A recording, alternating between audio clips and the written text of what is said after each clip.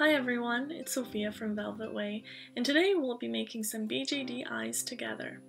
First you're going to need some molds. These are from Cubico on Taobao, and I have them in a couple of different sizes, 12, 14, 16, and 18. These are very good and I've used them quite a few times already.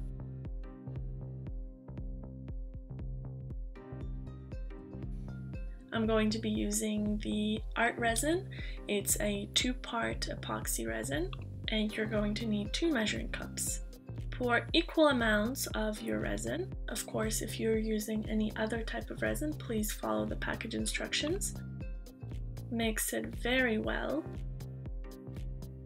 and let it sit for a couple of seconds just to let the bubbles out. Then you're going to color your eyes. In this case, I'm using the Castin' Craft color pigment in the color white.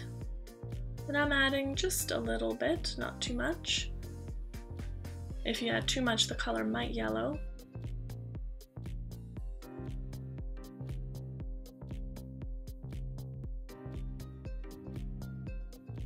And now it's time to fill your molds.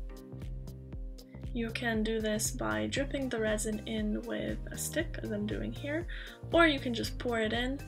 There's no real right or wrong way to do this. It's kind of personal preference.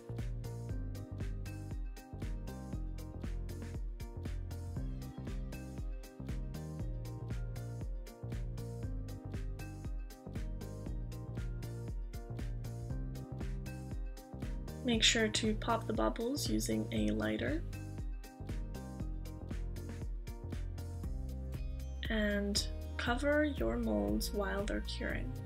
After they've cured completely, you can demold them, and I'm doing this here. This one came out very good, no bubbles. So did this one.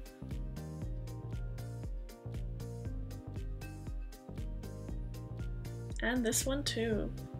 Unfortunately, the last one has a tiny bubble on the surface, but this is not a huge deal. Now, this is the part where you decide how you want your eyes to look. You can use nail embellishments, glitter, all kinds of stuff, sequins. I have quite the collection. I have some tiny metal charms, some rhinestones, and of course I use paint. Um, now I use gouache paint. I find that works the best. You can also use acrylic and in many different finishes or enamel paints. Those work too. So you're going to want to mix your colors. I tend to mix mine with white. And now it's just time to color.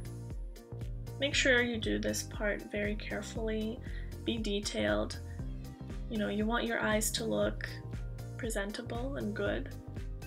So take your time doing this, don't go over the lines. Do a couple of layers as needed depending on the opacity of your paint.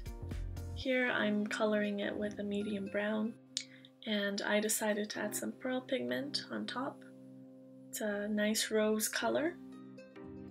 As you can see it doesn't do too much to the color it just adds a bit of a sheen, which is exactly what I wanted, so I'm very happy with how these are going so far.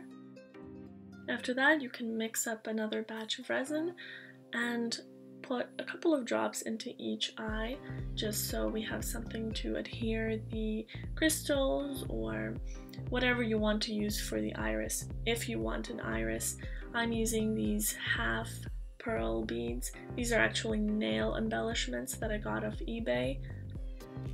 I think they looked very good. And I'm just dropping a couple of drops of resin on top. If you don't want any glitter or anything else into in your eyes, then you can just dome them at this step. Just be very careful not to put too much resin I decided to add some iridescent glitter, so I'm going to be doming in a separate step. I'm putting just a little bit of the glitter just in the center and covering it to cure. These have cured and as you can see they look quite nice. The glitter isn't too overpowering, you can still see the iris. And I'm very pleased with how they look so far.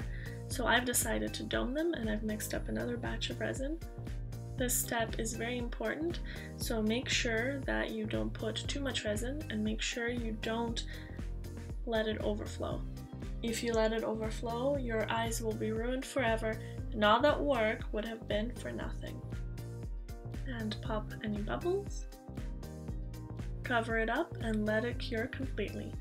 Here's an example of some eyes I made earlier and as you can see this one overflowed because I poured too much resin when doming so beware. And here I have some other eyes that I wanted to dome. These ones have rhinestones for irises. I think they add a lot of dimension to the eyes. They're certainly not realistic, but I think they look quite nice. Popping the air bubbles, covering it up to cure. And here's the finished product. As you can see, they cured beautifully. It's a very nice color. And here's some other ones I've made, the dark blue ones with the rhinestones, the sort of seafoam color, the pastel blue. These are an experiment. You can really do any combinations of colors and I made some clear blanks too. Alright, and that's all. I hope you enjoyed this video, and if you did, please don't forget to like this video, please subscribe to my channel, and if you liked any of the eyes I've shown in this video, or any other combinations that you can think of, you can visit my Etsy and purchase any of them there. Thanks so much.